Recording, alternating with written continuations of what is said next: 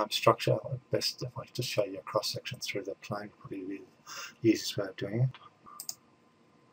Okay, so I'm just doing. I'm just putting a cross section through the plane, so you can hopefully see um, some of the structure.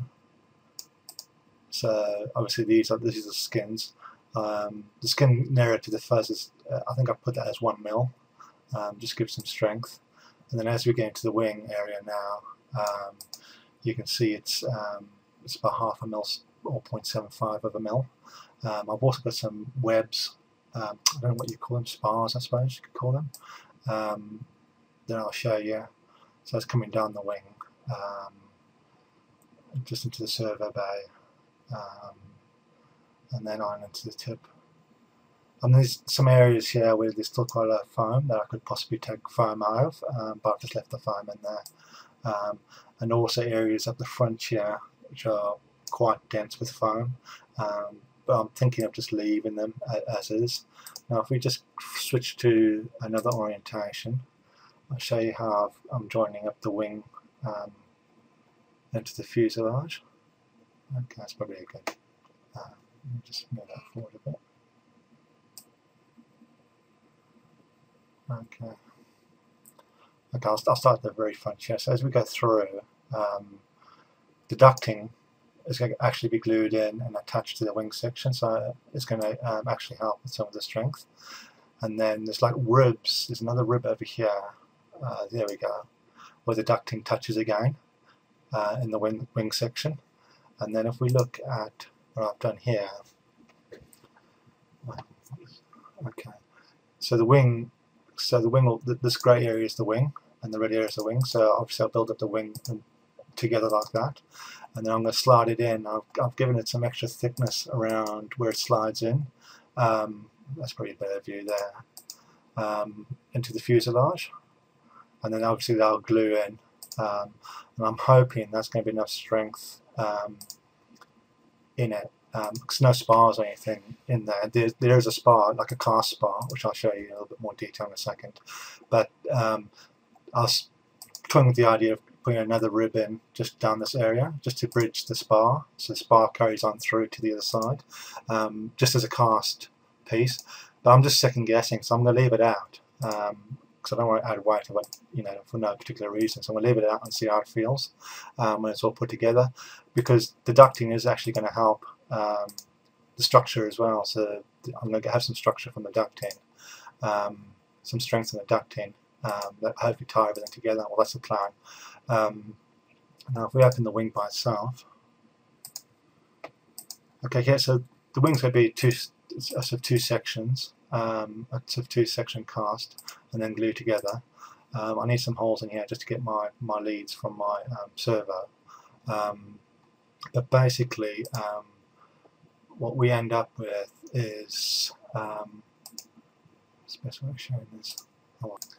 Okay, so I've just done a quick exploded view so hopefully you can see how it, see how it goes. So we've got a main rib that runs up, um, and then we've got a servo, um, the well for the servo there. Um, all these panels here, um, sorry, all these these panels here are, are going to be about 0.75, 0.5 millimeters thick. So it's just like a covering, like a solar covering.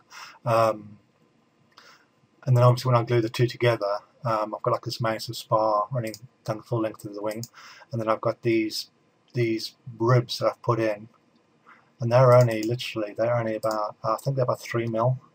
Um, and I've just put them in just to stop this this area from panting. I don't want this I want it to retain its shape when it's flying. Um, and I don't really want it to panting as it were. Um, I don't know whether that's the right term or not but um, yeah, so there's a bit of there's some ribs in there, and I was going to put similar ribs in the fuselage, but um, the fuselage looks more than strong enough as is. Um, and these are the areas where the um, the ducting is going to glue into. So the inlet ducting will glue there and there, and that's going to help keep its shape as well. Um, you know, when I was printing the ducting, I was having problems with it losing its shape. So although I won't be printing the ducting, I'll be doing a, a composite duct, a fiberglass duct. Um, I can still glue the ducting into these points um, at those points so they, they fit nicely. Um, so that's basically the structure in the wing. Um, and the, the, these are the sort of areas I'm saying there's quite a lot of foam still in there. Um, but I'm, I'm just going to leave it. Um, it's going to give it just add some extra strength, and the weight's quite good at the moment. And the only other place I could take some foam out possibly is um, on the slats, on these leading edge slats. So they're solid at the moment, but I'm, I'm just going to leave them as is um, because um, the, the weight's good and it's going to be a lot of work just for a very, very small gain in, um, in weight saving. So that's basically how the wing's going to look. Um, let's do another cross section through so you can see the section. Um, looks quite cool. Um, so as we go through, you can see how it, um,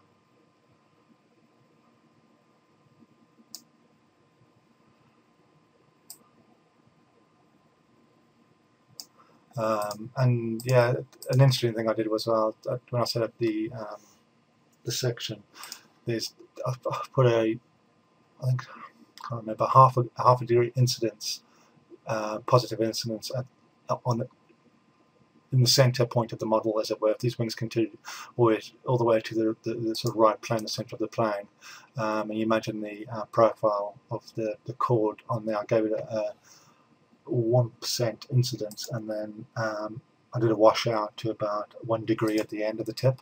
So it actually washes out um, ever so slightly. Um, you can just see it there. Um, I didn't base it on any figures. I just did it as a that feels right sort of um, way of doing it. Okay so okay so um, I thought I'd just show you how i set, I've set up the uh, flying stab. Like I say the, the the control horn for it is going to be um, hidden. Um, and basically what I'm doing is I've got two uh, bushes that I'll print uh, maybe out of nylon or um, ABS um, that I'll get that are actually mold into I'll actually cast when I cast the um, the side the fuselage side. Um, so the fuselage fuselage side is going to look something like that. Um, and then I'll have a um, control horn that would be glued into the um, onto the rod. Um, and, that, and, that's all the, the movement I'm looking at really. Um, probably shows better if I actually open up the um, horizontal stab okay that's, that's a bit better.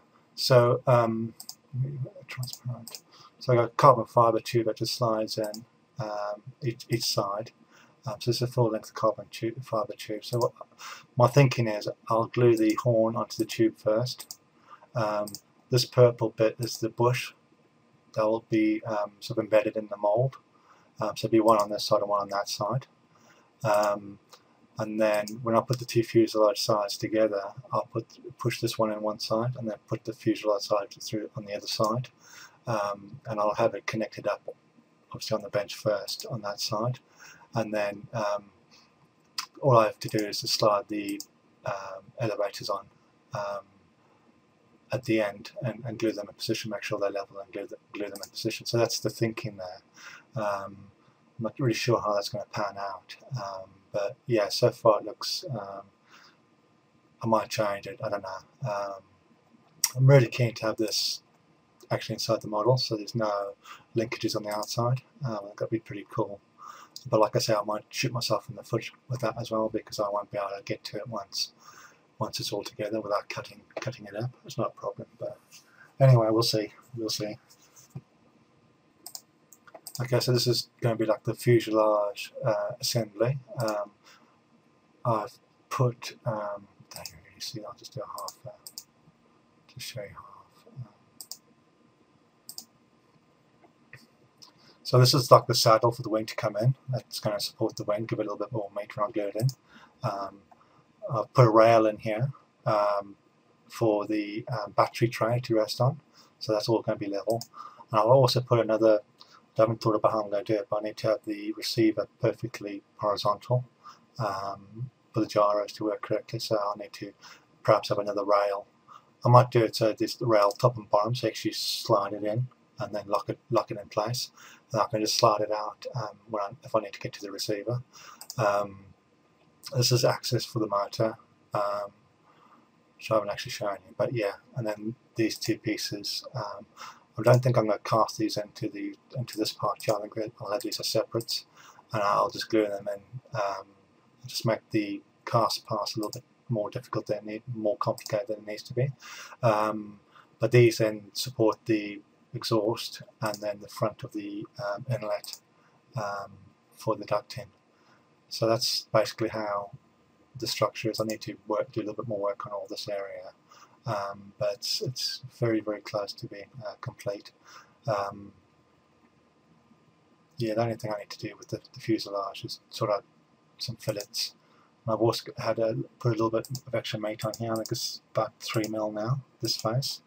So the fuselage actual skin thickness is one mil, um, completely one mil, um, where there's no support, and then where I'm joining, I've got a three mil, like a rib, I suppose, like a keel, if you want to call it, um, running the full area along the area there. Um, and then for the cockpit, um, I've had I've got like a bit of a step system there, so I'm hoping that this sort of structure when it goes together is going to actually stop this from squeezing in and out. Um, so we'll see. We'll see once I've cast a few and, and I can have a look at it, a better look at it.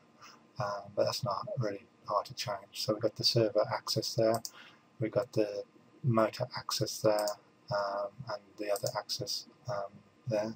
So that's basically what a fuselage half is going to look like. Um, that I'll hopefully cast. Okay, so um, yeah, the one thing I didn't show you was the access to the um, to the motor um. I'll just change that. Oops.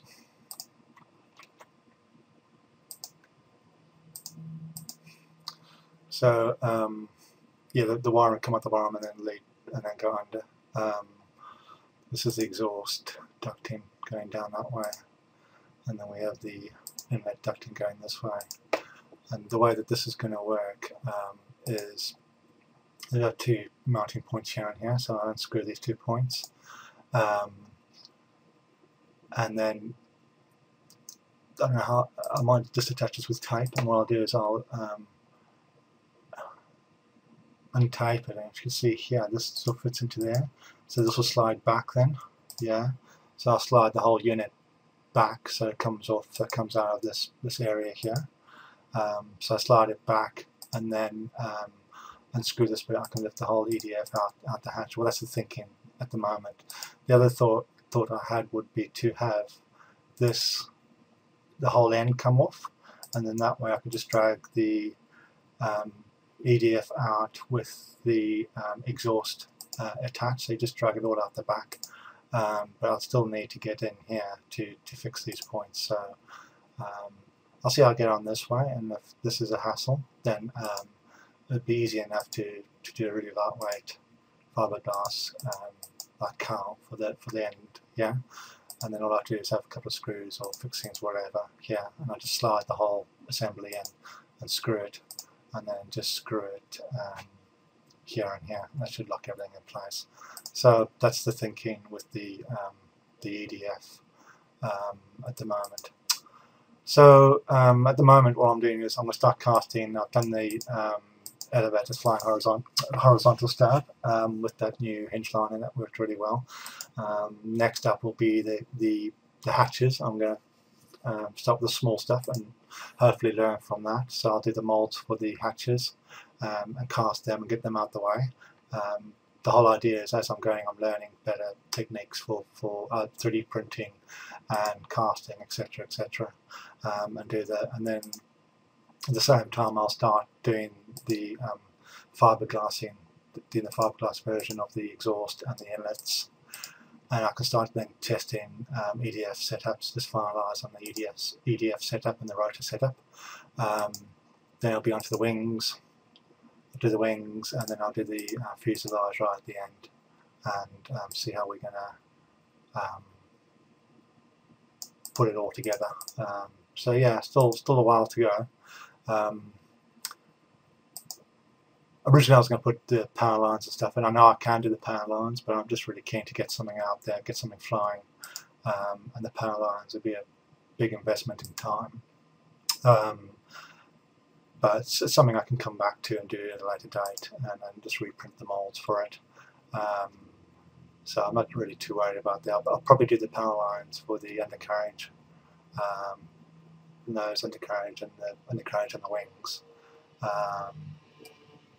And anything else that's really um, unique to the Hunter. Um, I need to put the pods on here, the cannon, the cannon pods um, on still. Um, I can do that. I'm going to do this at a later date. But at the moment, I'm really keen just to get something flying, and then um, I can take it from there. Okay, thanks for watching. Cheers.